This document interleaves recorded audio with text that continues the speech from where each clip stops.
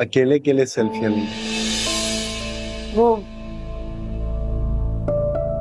Facebook पे लगाने के लिए खींच रही थी। मुझे भूख लग रही है। नाश्ता बनाने वाली कब आएगी? मेरे घर में नाश्ता बनाने वाली कोई नहीं आती। तो नाश्ता कौन बनाता है?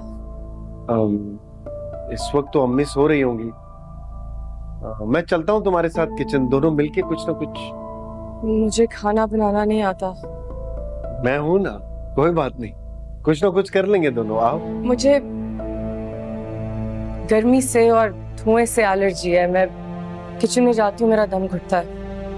ओ अच्छा तो ये बात है। तो कोई बात नहीं अ, मैं कोई खाना बनाने वाली का बंदोबस्त कर देता हूँ। नो प्रॉब्लम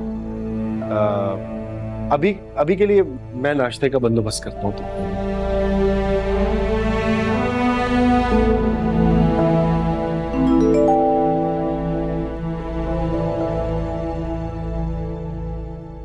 चंद दिन दुबई क्या गया?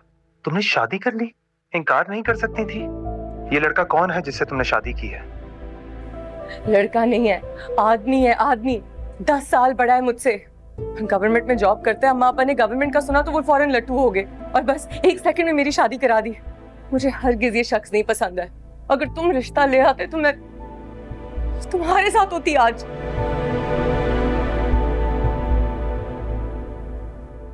ये ना जब अ, मैं बहुत छोटा सा था तो हम कश्मीर गए थे ये देखो।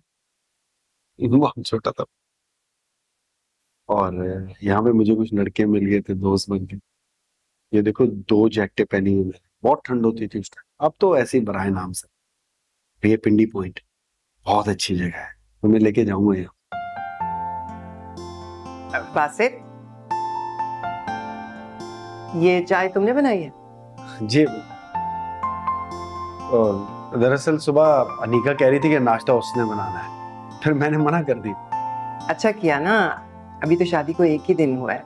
अभी तो हमने रस्म भी नहीं की। अगर खीर बनाए बगैर ये किचन में जाएगी तो बदशगुनी होगी। कैसी रस्म?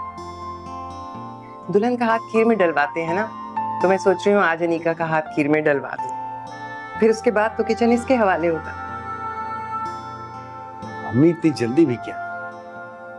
वैसे भी मैंने सोचा आज इसे जरा बाहर घुमाने ले जा नहीं नहीं नहीं। आज तो अड़ोस पड़ोस की औरतों ने आना है ना अनिका को देखने और खीर चखने के लिए और खीर बहुत ज़रूरी है। तो मैं बाज़ार से वापसी पे ले आऊँगा ना अपने साथ। आप वही खिला दीजिएगा सबको। कह दीजिएगा अनिका ने बनाई है ये रस्म भी हो जाएगी।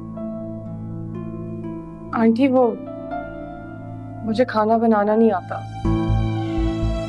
हाँ बेटा लेकिन अब तो सीखना पड़ेगा ना, वरना घर कैसे संभालोगी? घरदारी तो तुम्ही को करनी है ना।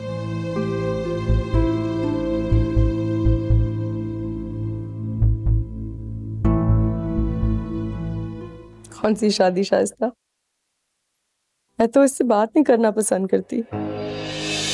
इससे अच्छा नहीं लगता मुझे। मेरे आगे पीछे घूमता रहता है।